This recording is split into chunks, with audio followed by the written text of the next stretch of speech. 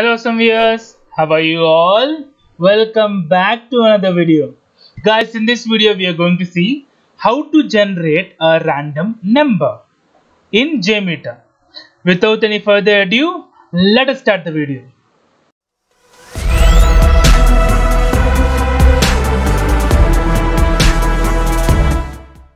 So now guys in thread group you can see I can add a config element. In the config element I will have so you can see here random variable. I'll click on the random variable. So I'll keep this random variable in the top of HTTP request. So okay now. So let me open the API which we are going to test with random variable. This is the API which is a free API you can see. If I give page 1 so I'm getting some data. If I give page 2 I'm getting some other data if I'm up to 9 if I give 9 so I will get some data but it will not be a proper data. I think up to 3 it will be have it will be having a proper data. Maybe 1 or 2 it is working. So what I want to do instead of entering manually I want to enter this dynamically so let me copy this. So let me open uh, my JMeter so in HTTP request I'll go to basic. I'll copy this in HTTPS I'll cut it I'll paste it here in protocol. So I want reqres.in to be my server name. This one I want it to be a random number. Random.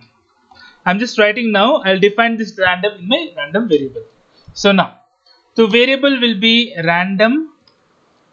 So format will be 0 minimum value is 1 maximum value is 9 so seed for random function we are not giving here. So now this random variable will be my variable to use during runtime. So one more thing i'll add. I'll add a listener which is view results tree. So let me execute only for once. Let me run it. So don't want to save for now. So i got the request. I got the response also see it took page 5 and the response data will be like this. Okay? So i have 1 to 9 right? So let me open the thread group. I'll give for let's say 9 iterations. Okay? So let me clear this. Now i'll run the 9 iterations. So you can see all the time it got passed. So let's see. The first time let's see what it gave. 2 1 1 4 2 6 2 3 so all the time would have got the data. So we'll see the response data. We got the response data.